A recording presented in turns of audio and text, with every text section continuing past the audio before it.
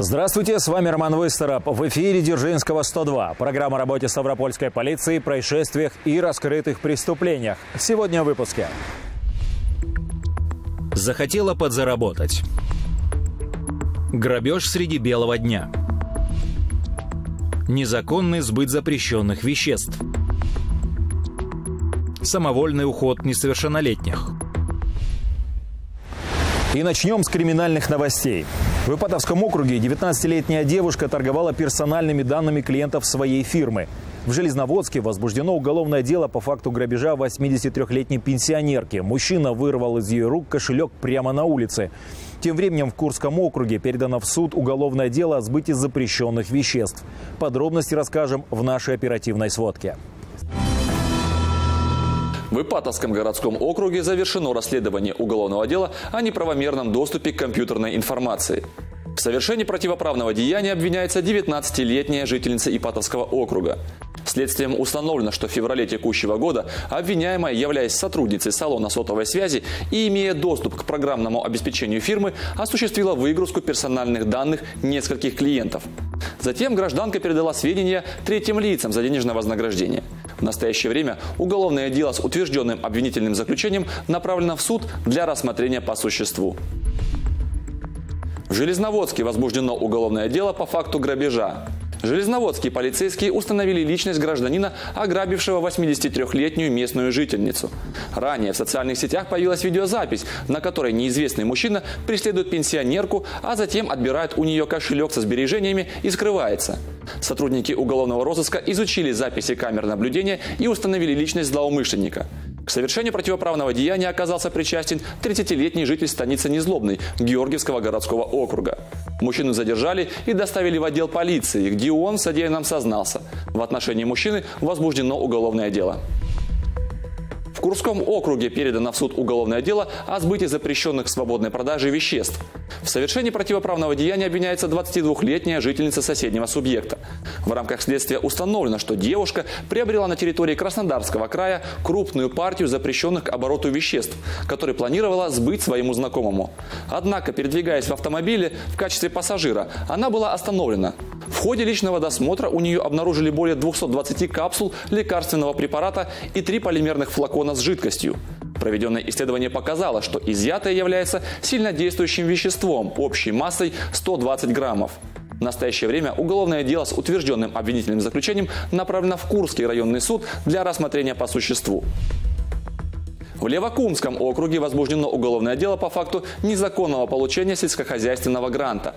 Сотрудниками Управления экономической безопасности и противодействия коррупции краевой полиции выявлен факт незаконного получения жителям Левокумского округа выплаты, предназначенной для поддержки предпринимателей, занимающихся сельскохозяйственной деятельностью. 26-летний житель села Правокумского, являясь главой крестьянско-фермерского хозяйства, предоставил в учреждение пакет документов, на основании которого ему была выплачена субсидия в размере 14 миллионов рублей на развитие животноводческой фермы. Ходе проведения оперативных мероприятий выяснилось, что в справках предприниматель отразил недостоверные сведения, а полученными деньгами распорядился по своему усмотрению. Возбуждено уголовное дело. Что делать, если ребенок ушел из дома или сбежал из школы? Какие опасности подстерегают несовершеннолетних бунтарей и куда обращаться их родителям? Мы познакомились с теми, кто раньше других приходит на помощь семье в такой ситуации и собрали ряд наиболее действенных советов для родителей. Ушел из дома, хлопнув дверью, или сбежал по-тихому. Только за текущий год в правоохранительные органы края поступило порядка 400 заявлений от родителей, чьи дети сбежали из дома. Некоторые взрослые не осознают, какой опасности подвергают жизнь и здоровье своего ребенка, не своевременно обращаясь в полицию о розыске. Кто-то думает, что заявление в полицию можно подать только через три дня. Кто-то же пытается искать бегунов своими силами, боясь огласки внутрисемейных проблем. Кто-то решает, что ребенок погуляет и вернется самостоятельно. Если у нас пропадает несовершеннолетний ребенок, и несовершеннолетними считаются дети в возрасте до 18 лет, то поиск этого ребенка начинается незамедлительно с момента поступления в наш адрес сообщения. Сообщения могут поступать как письменные, когда родитель непосредственно приходит, так и в рамках телефонного звонка, так и сообщения через интернет, где-то сообщество, кто-то от соседей сообщил. То есть как только становится известно о том, что поступает информация о том, что ребенок пропал, незамедлительно обязательно начинаются поисковые мероприятия. Причин ухода детей множество. От бунтарских, когда ребенок, например, решает посетить некое мероприятие, пожить у друга или, не предупредив никого, переехать жить к бабушке. До медицинских. За ними чаще всего стоят психические заболевания. Также побег из дома часто является следствием авторитарной модели воспитания. Вне зависимости от причин побега помогает родителям и правоохранительным органам найти ребенка поисково-спасательный отряд «Лиза Алерт». Это добровольцы, которые проходят специальное обучение и вместе с правоохранительными органами ведут поиски без вести пропавших. Когда формируется активный поиск, у нас есть отдельный чат э, ПСО, э, где куда поступает информация о пропаже человека. Назначается точка сбора. Чаще всего это либо место последнего нахождения БВП, либо это э, около дома без вести пропавшего.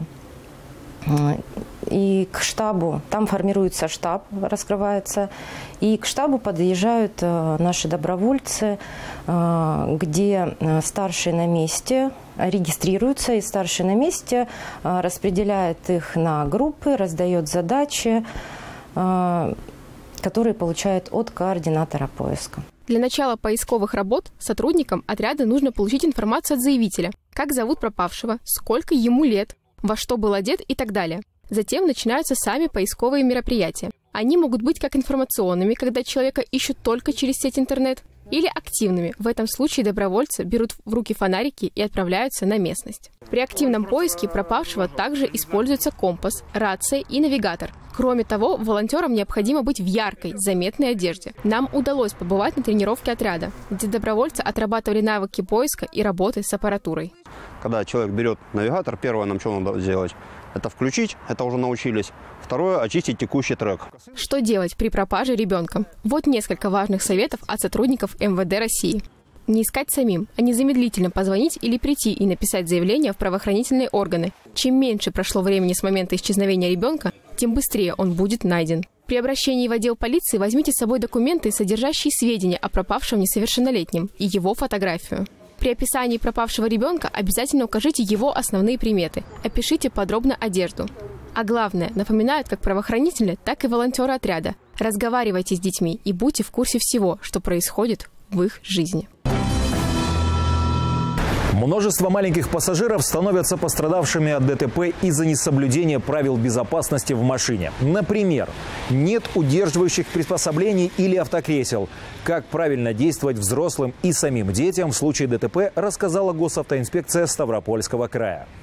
17 октября на Ставрополе важное событие. В край прибыл единственный в России мобильный комплекс «Школа дорожной безопасности». Это автобус-тренажер, который представляет из себя полноценный учебный класс, укомплектованный современным мультимедийным оборудованием и техническими новинками для обучения детей правилам безопасных поездок на пассажирском транспорте. За один день пребывания тренажера обучение прошли около 300 школьников из Шпаковского округа и города Ставрополя. Ребятам наглядно продемонстрировали принцип действия ремней безопасности при резком торможении. Опа! Салонах также установлен генератор дыма для имитации задымления салона и отработки алгоритма действий при чрезвычайных ситуациях.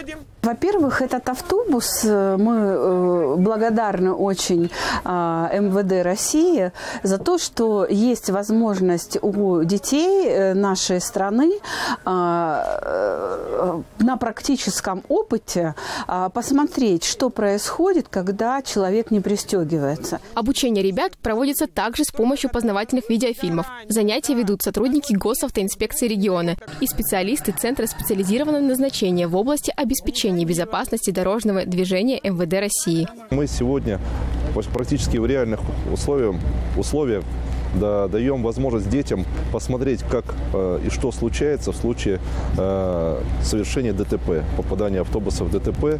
И, соответственно, в случае, если а, ребенок будет не пристегнут, какие последствия от этого будут. Автобус «Школа дорожной безопасности» – это проект Госавтоинспекции России. Мобильный комплекс 2009 года передвигается по всей стране. А, данный автобус а, к нам прибыл с Москвы, и основная его задача – научить детей а, применять ремни безопасности не только в салонах автомобилей, но и, что важно, и в салонах автобусов, то есть пассажирских транспортных средств. Основная масса детей, которые страдают в дорожно-транспортных происшествиях, в частности у нас в Ставропольском крае, это 49% страдают дети-пассажиры транспортных средств. И далеко не всегда они перевозятся с применением детских специальных удерживающих устройств в салонах транспортных средств и с применением ремней безопасности. На Ставрополе автобус прибыл впервые. После нашего региона он отправится в Краснодарский край. В Кочубеевском округе нарушение правил безопасного разворота привело к смертельному столкновению. В Левакумском округе поймали нетрезвого водителя, который попытался схитрить и обмануть алкотестер, но получилось неважно. Подробнее расскажет наш дорожный патруль.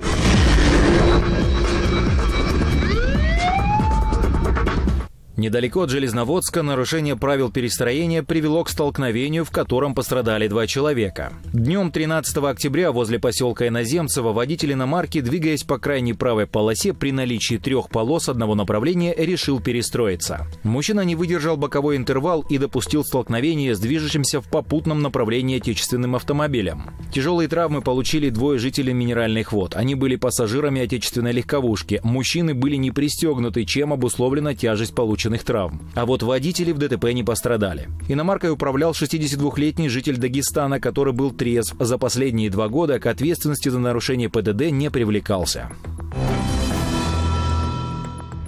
13 октября при несении службы на территории Левакумского округа нарядом ДПС был замечен автомобиль, водитель которого при виде экипажа резко свернул на проселочную дорогу. Такое поведение вызвало подозрение, и полицейские остановили машину. За рулем был 41-летний житель округа с признаками опьянения. Так как документов при себе водитель не имел, для установления личности его доставили в отдел полиции, где предложили пройти освидетельствование. Нарушитель согласился, но попытался схитрить. Восемь раз он пытался обмануть прибор, настаивая на том, что у него якобы не хватает хватает воздуха. Такое поведение было расценено как отказ от освидетельствования, и мужчина был направлен в медучреждение, где опьянение подтвердили специалисты. В отношении нарушителя составлен административный материал. Гражданину грозит штраф в размере 30 тысяч рублей и лишение прав от полугода до двух лет. В Кочубеевском округе нарушение правил безопасного разворота привело к смертельному столкновению. 15 октября около 11 часов на подъезде к городу Ставрополю водитель иномарки, совершая маневр разворота, где это не запрещено, не убедился, что встречная полоса свободна и допустил столкновение с отечественным автомобилем, а затем съехал в кювет. От полученных травм на месте скончалась 23-летняя пассажирка русского автопрома, жительница КЧР. В больницу Невиномыска доставлены оба водителя и пассажирка иномарки. За рулем иномарки находился 64-летний житель Ставрополя. Будьте внимательнее за рулем. А если вам понадобится помощь полицейских, звоните по номеру 02 с городского телефона, 102 с мобильного и 112 вызов всех экстренных служб. С вами был Роман Выстороп. Берегите себя.